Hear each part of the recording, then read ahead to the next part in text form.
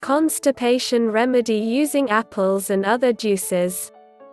Here are two constipation remedies that you can use for a mild case of constipation and for a chronic case of constipation. Apple and pear juice.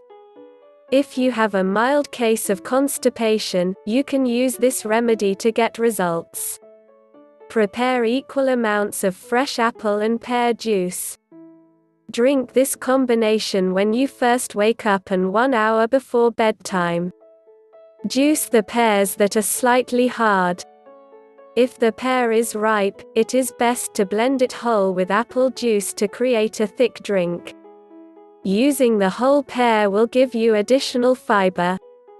Just remove the seeds but do not peel the organic type.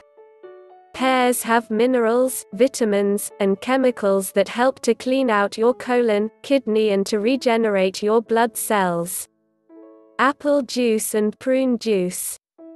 Here's a constipation remedy that you can use if you have chronic constipation. In addition to just drinking apple juice, you can accelerate your peristaltic action with prune juice. Here's how to do it. If you have a juicer you can make fresh apple juice and drink 3 to 4 glasses a day.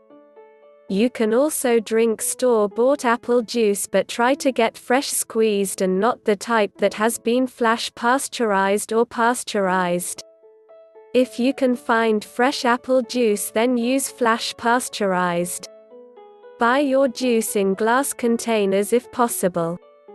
Plastic containers are processed using solvents that stay in the container walls and gradually outgas into the apple juice. This outgassing is more severe when plastic containers are stored in hot places. To speed up the laxative effects of apple juice, take the following combination first thing in the morning before you have breakfast. Drink 2 to 3 cups of prune juice. After a like would be appreciated.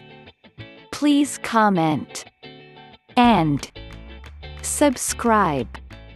Thanks for watching.